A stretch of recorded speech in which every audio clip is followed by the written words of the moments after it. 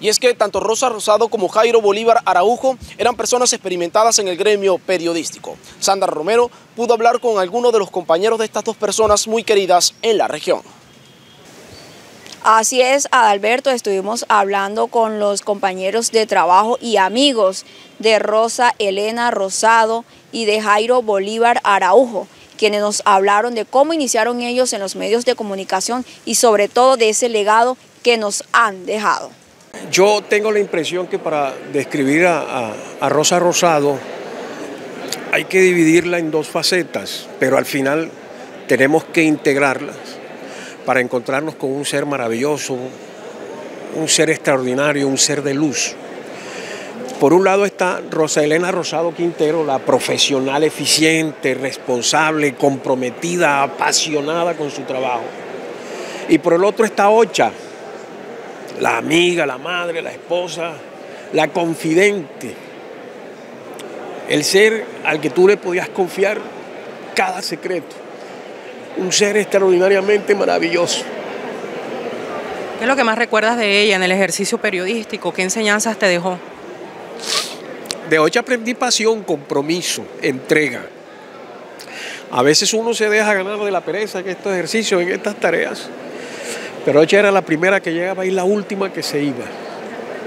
Daniel puede decirlo hasta que todo no estuviera completo.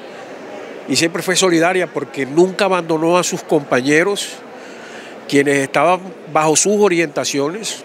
Pueden afirmar que Rosa nunca fue individualista, egoísta, siempre pensó en equipo y siempre le gustó trabajar de la misma, de, la misma manera. Esa es Rosa, una gran profesional. Puedo decirles que se nos ha ido quizás uno de los seres más maravillosos que Dios ha creado. Rosa tenía una particularidad era que era muy directa. Yo creo que a veces se pasaba. O sea, eh, eh, Rosa es la persona que más me ha insultado a mí de una manera elegante y decente.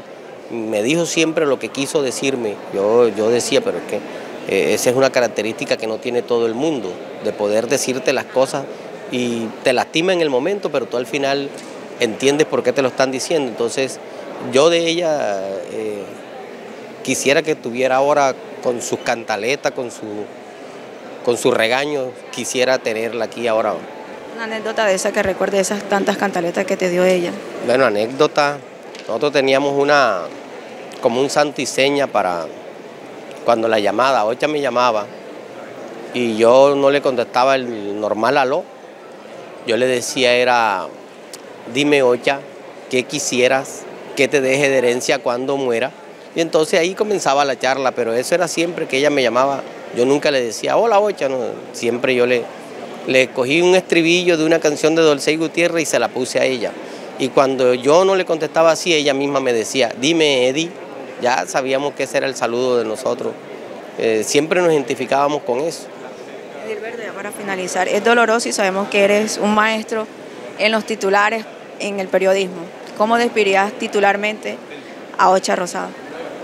Yo, yo diría que se fue la mejor de las rosas del jardín del periodismo. Yo conocí a Ocha hace más de 20 años. Ella era presentadora de un noticiero local que tuvo Luis Mendoza Sierra en su momento.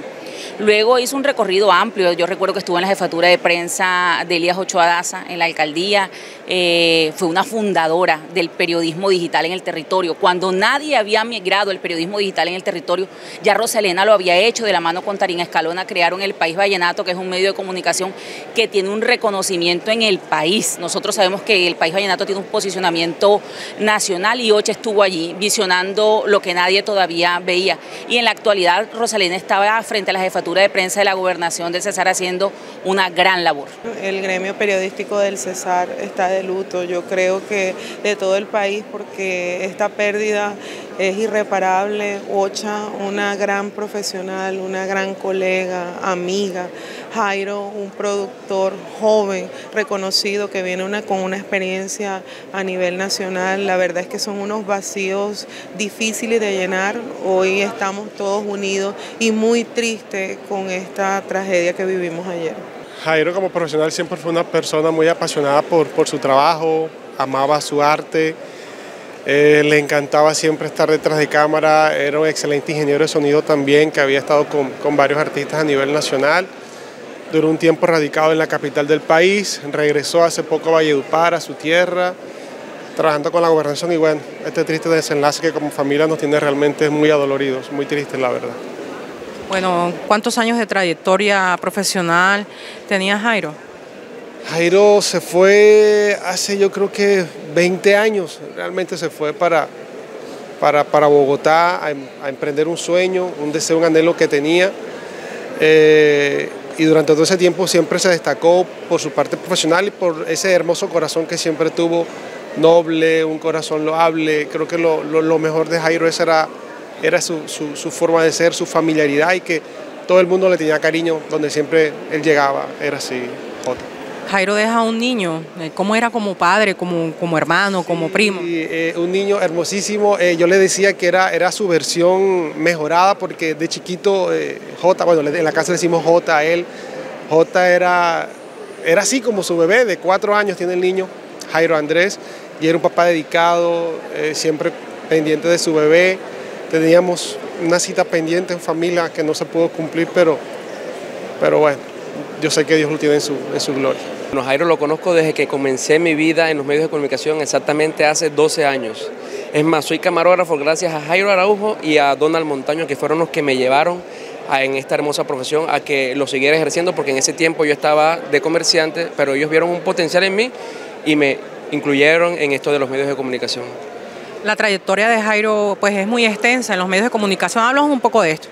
Bueno, Jairo comenzó en los medios, fue una persona con mucha visión. Siempre que estaba en Valledupar quería abrirse campo en los medios nacionales y comenzó trabajando primero en RCN, después de RCN pasó a Caracol, en nuestra casa, renunció hace un año a Caracol para venir a trabajar aquí a la gobernación del Cesar.